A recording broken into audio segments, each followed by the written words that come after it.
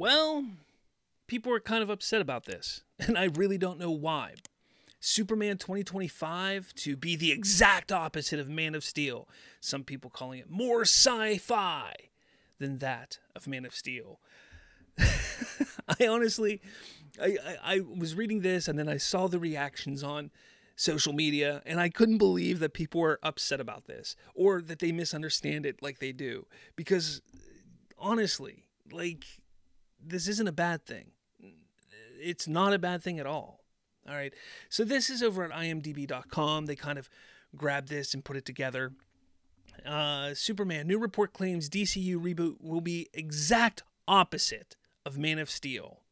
A new report explained by James Gunn's highly anticipated DCU reboot of Superman will be far different than Man of Steel. The film will officially launch the new DCU franchise on the big screen and introduce a new iteration of Superman played by David Corenswet. Production recently wrapped ahead of its release next year.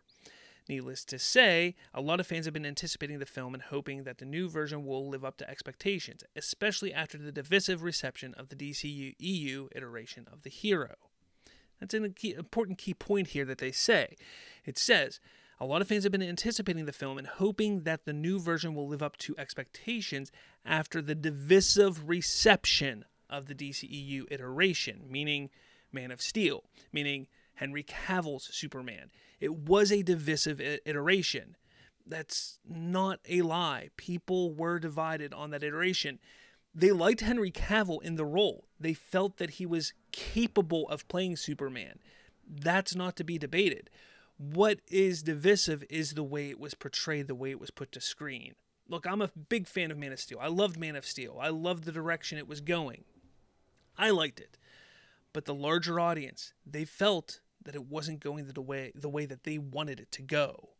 Anyways, moving on, James Gunn's Superman reportedly James Gunn's Superman reportedly the exact opposite of Man of Steel. Now this is coming from Daniel Richtman, According to him, he heard from sources that Gunn Superman is fantastic and a complete shift to hardcore sci fi and fantasy, the exact opposite of Man of Steel. Now, that's not to say that Man of Steel did not have sci fi elements. I mean, take a look at the first 30 minutes of that movie. The first 30 minutes of that movie is straight science fiction on Krypton. That is straight sci fi, and it is fantastic. That is a great beginning to that movie. I love that film. I, I, can't say it enough. But that is science fiction. You know, all the the otherworldly feel of the the computers and the way everything works. Very science fiction.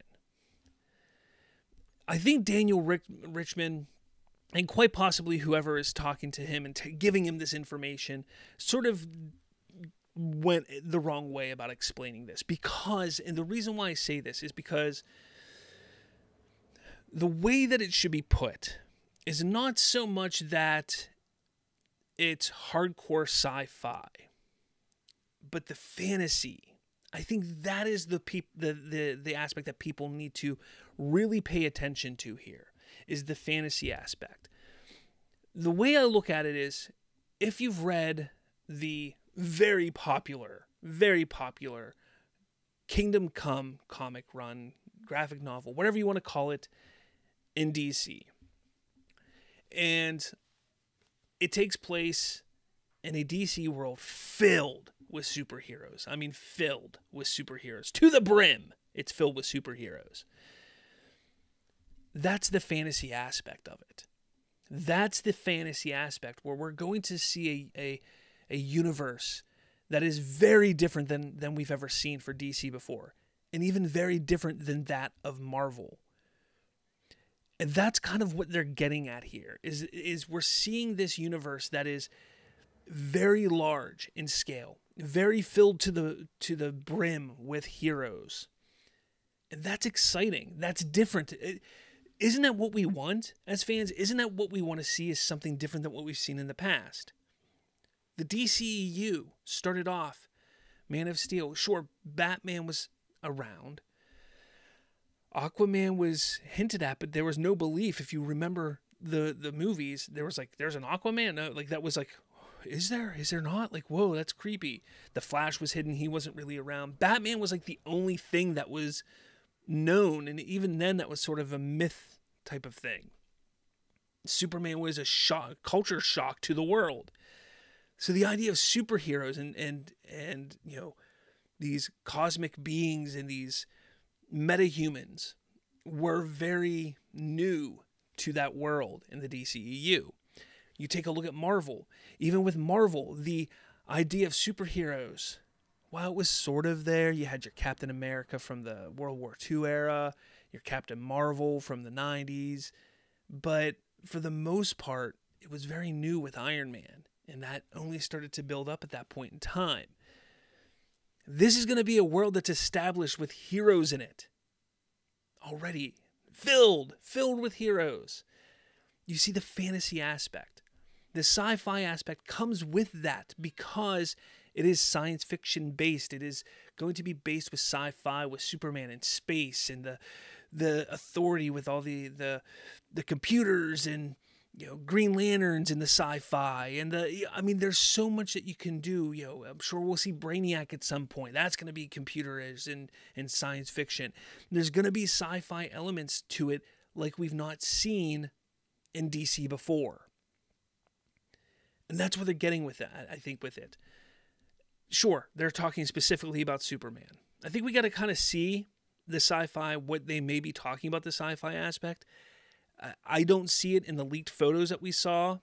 I don't see the sci-fi aspects, but I think this the the specific point that we have to look at is the fantasy side. Because I don't see the sci-fi aspect yet. Because again, when you sit there and look at Man of Steel, the complete opposite is what we're getting, the fantasy side. That is completely opposite from Man of Steel, 100%. But the sci-fi, very sci-fi Man of Steel wholeheartedly agrees. Man of Steel has a lot of sci-fi elements to it.